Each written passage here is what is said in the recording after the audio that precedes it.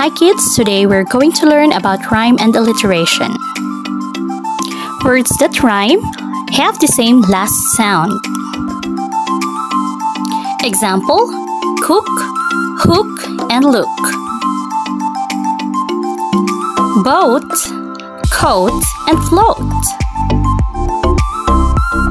All, ball, and call. Seed, and weed. Cat, sat, and bat. On the other hand, alliteration is the repetition of usually initial consonant sounds in two or more neighboring words or syllables. Example Wonder Woman, Dunkin' Donut. Coca-Cola French fries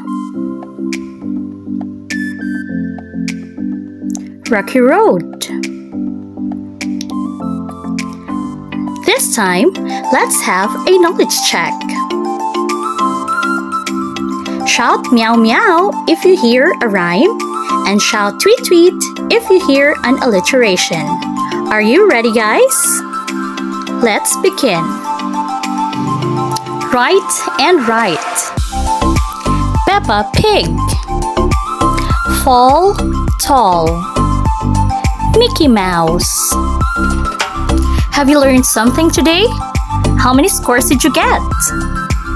Watch out for more educational and fun-filled video lessons at Fona TV. Goodbye!